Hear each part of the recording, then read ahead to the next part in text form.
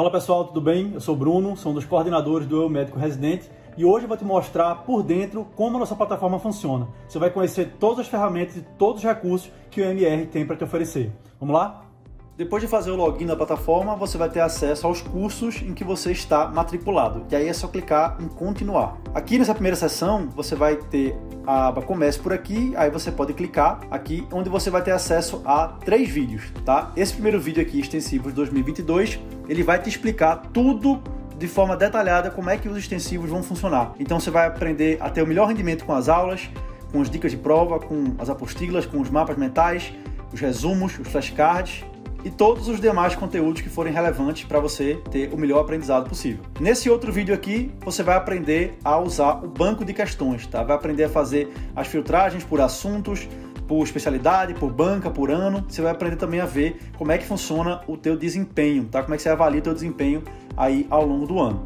E nesse outro vídeo você vai aprender a usar o nosso aplicativo de flashcard, que é o Brainscape, e aí você vai ter acesso a uma trilha com mais de 6 mil flashcards produzidos, separados lá por assuntos, por especialidade, por área, para você utilizar da melhor forma possível. E aqui você vai ter o cronograma do teu extensivo, tá? E dependendo do extensivo que você escolher, pode ser que ele seja um pouco diferente entre um e outro. Nessa parte aqui, do primeiro módulo que está liberado, a gente está na primeira semana de, janeiro, a gente liberou as aulas de pneumonia de ângulo pleural, as aulas de hemorragia digestiva, e as aulas de febre sem sinais localizatórios e febre reumática.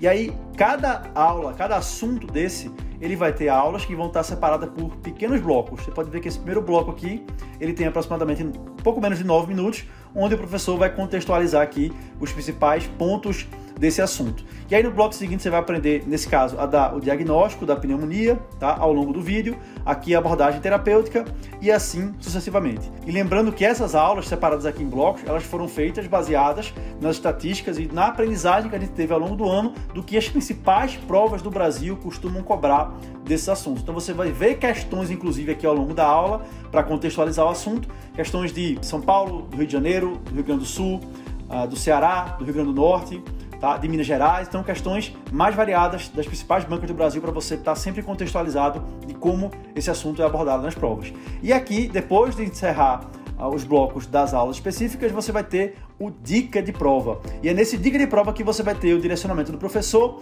de como é que esse assunto é cobrado na tua prova. Ele vai te mostrar aqui as nuances, os detalhes, os macetes e aprofundar para você se tornar um especialista nesse assunto para a tua banca. E aí, depois de terminar de assistir as aulas, você vai ter aqui acesso a um simulado de fixação que contém 15 questões, onde você vai ter acesso a algumas questões da tua banca e algumas questões de outras bancas também para você fixar e aprofundar ainda mais nesse conteúdo. E além desse simulado de fixação que é liberado no mesmo dia da aula, após 7 dias, 15 dias e 28 dias você vai ter acesso a novas baterias de questões desses assuntos para você continuar aqui a tua revisão, tá? Então, é bem legal aqui o simulado. Você marca aí a alternativa, qualquer uma, né? Marquei aqui no chute, acertei. E aí você vai ter o percentual de pessoas que marcaram essa mesma alternativa que você, tá? Todas as questões aqui, todas as alternativas estão com esse mesmo percentual. Você pode marcar a questão como dúvida para revisar depois e logo abaixo você vai ter aqui um vídeo explicativo, né, para te dar o comentário dessa questão que vai estar tá tanto em vídeo como em texto, tá? E à medida que você vai fazendo as questões, passando aqui, você vai tendo todas as questões também comentadas em vídeo e em texto. E aí, além de ter acesso a todas essas videoaulas completíssimas, essas questões, você vai ter acesso aqui, ó, acessando o primeiro bloco de cada assunto, a materiais de acompanhamento da aula.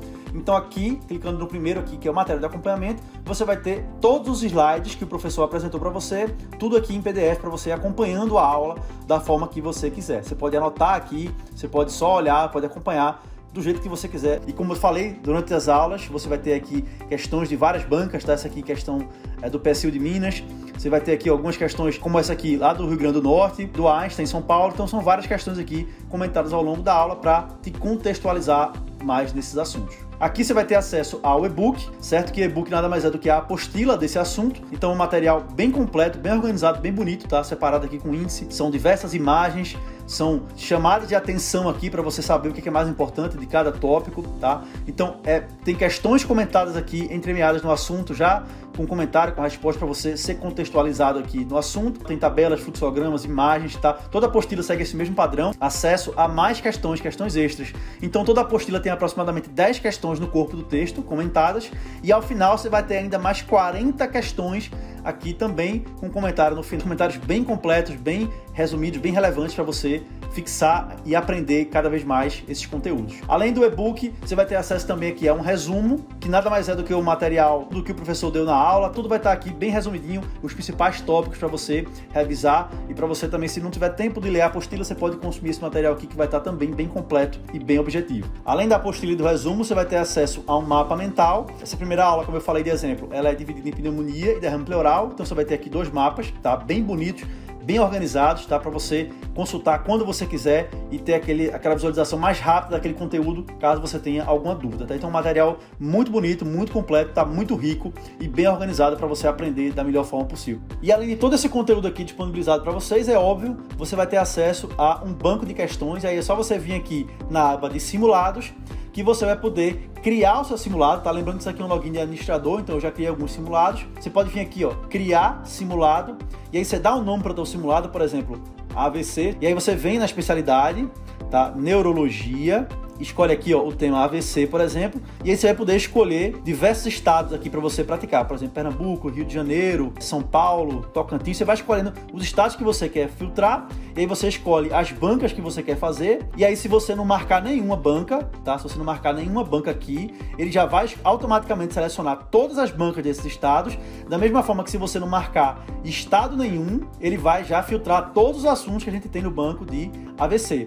E aí você pode escolher o ano, tá? Não, eu quero fazer questões aqui, ó, mais recentes, 2020, 22, 21, 20, 19. Escolhe aqui o tipo de prova, você quer prova de R1, de R+, prova de revalida, e escolhe quantas questões você quer fazer desse simulado. Vamos supor aqui 10 questões. E você ainda pode filtrar, se quer selecionar apenas as questões que você ainda não respondeu, pode filtrar também as questões que você errou, para você dar uma revisada nelas, e você ainda pode simular uma prova, que eu vou explicar daqui a pouco como é que funciona isso. É só vir aqui em criar simulado, que você vai ter aqui um simulado com a quantidade de questões que você selecionou. E aí você marca a alternativa, se você errar, aparece aqui o percentual de pessoas que marcaram a tua resposta. Mesma coisa lá do simulado de fixação, vai ter o comentário aqui, tá? Um comentário em vídeo e em texto, e você vai fazendo aqui essas questões, beleza? Além de criar o simulado, você vai poder ter acesso aqui aos simulados gerais, Tá? No caso, a gente liberou um simulado até agora, que foi o simulado da primeira semana, e aí você pode fazer o simulado por aqui, acompanhar a tua evolução. Os simulados gerais, eles são entregues toda semana com 50 questões, e o último simulado do mês vão ser 100 questões, beleza?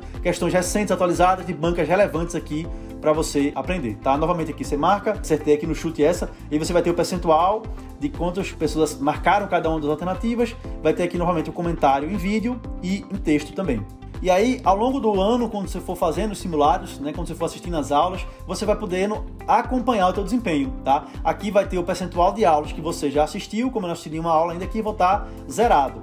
E aqui, dentre os simulados gerais desse curso que eu estou matriculado, eu vou ter aqui o total de questões que eu já marquei e o total de simulados que eu finalizei. Como eu não finalizei nenhum simulado ainda, ele está marcado como zero, tá? Zero simulados finalizados. E aqui eu vou ter a quantidade de respostas certas que eu tive dessas aqui e aqui a quantidade de respostas erradas. Mas novamente, para você saber isso aqui, você precisa finalizar o simulado, tá? Você precisa chegar até a última alternativa, marcar lá, finalizar simulado. E aqui você vai poder ter um gráfico comparativo também, como é que está a tua evolução comparado com todos os alunos do curso. Novamente, como eu não finalizei nenhum simulado, né, e a minha nota aqui é a verde, eu não estou é, vendo, é, não, não vou ter nenhuma resposta aqui, nenhum simulado marcado, tá? Nenhum simulado concluído. E aqui normalmente, como é login de administrador, ainda está um pouco confuso aqui, mas você pode ver que o verdinho, a linha verde são, é a tua nota, a linha vermelha é a média geral das pessoas que estão matriculadas no curso que fizeram esse simulado, a linha laranja é o percentual, aqueles 10% dos alunos que estão tirando as melhores notas nos simulados. Então você vai poder se comparar né, com você mesmo,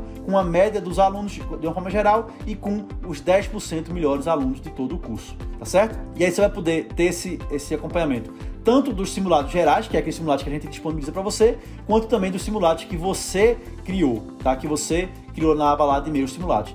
Então é isso, pessoal. Espero que vocês tenham conseguido entender todos os recursos e todas as ferramentas que a nossa plataforma tem a oferecer. Nossa equipe está à disposição para tirar qualquer dúvida que tenha ficado a respeito do material, da plataforma. E também podem esperar diversas novidades ao longo desse ano para melhorar ainda mais o seu estudo, para que você alcance o seu resultado e que você seja aprovado esse ano na residência médica.